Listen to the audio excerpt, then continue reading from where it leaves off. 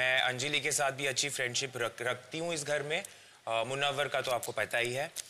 तो मुझे पता है कि ये सिर्फ़ फ्रेंडशिप है और ऐसे ये जो बन जाता है ना कि लड़का लड़की या तो भाई बहन हो या तो कपल हो, ये मिट जाना चाहिए। क्योंकि एक लड़का और लड़की अच्छे दोस्त भी हो सकते हैं and I think they are an example of that नहीं?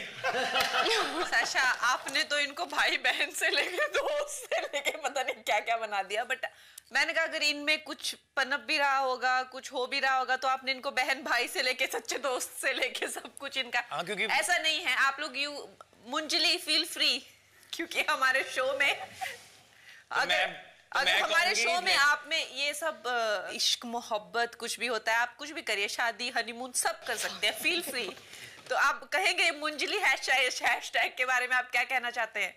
क्योंकि हम बड़े एक्साइटेड हैं। अगर ये हैशटैग में कुछ ऑथेंटिसिटी है तो। और मुझे लगता है लोगों को बॉन्ड अच्छा लगता होगा। लाइक मैं इसको बोलता हूँ तेरे दांत मग्गे से तोड़ दूँगा। तो मुझे लगता है हम लोग की बॉन्ड बहुत अच्छी हो गई है बहुत अच्छी दोस्ती हो गई है। मैंने एक्सपेक्ट नहीं किया था कि मेरी इतनी अच्छी दोस्ती किसी से भी यहाँ पे हो जाएगी। और जब मैं बीमार था तो ये बहुत ख्याल रखती थी और वो एकदम ज़बरदस्ती मार रही थी।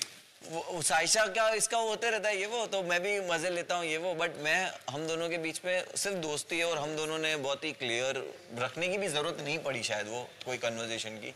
बट हाँ दोस्ती है अच्छी दोस्ती है। और मेरी दोस्ती है भरोसा नहीं करना चाहिए। और अंजलि आपका क्या कहना है?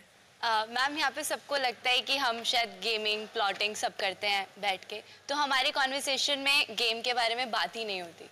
हम जस्ट नॉर्मल कॉन्वर्सेशन करते हैं। हाँ नॉर्मल कॉन्वर्सेशन करते हैं और पता नहीं ऑडियंस को क्यों लग रहा है बट सब कुछ नॉर्मल नहीं नहीं नहीं फील फ्री जो भी आप नॉर्मल कॉन्वर्सेशन कर रहे हैं you feel go with the flow सिर्फ़ दोस्ती है मैम अच्छा तो काजू कतली। जिन जिन कैदियों ने काजू कतली खाई है उनको पता है कि काजू कतली डायमंड शेप में होती है और डायमंड कितना प्रेशियस होता है बहुमूल्य होता है नायाब होता है। तो वैसे ही हमारे अंदर बहुत सारी ऐसी चीज़ें हैं सीक्रेट्स हैं, जो कि बहुमूल्य हैं। या तो हम किसी को बताते हैं शेयर करते हैं, और जिनको नहीं शेयर करते, वो और भी कीमती होते हैं।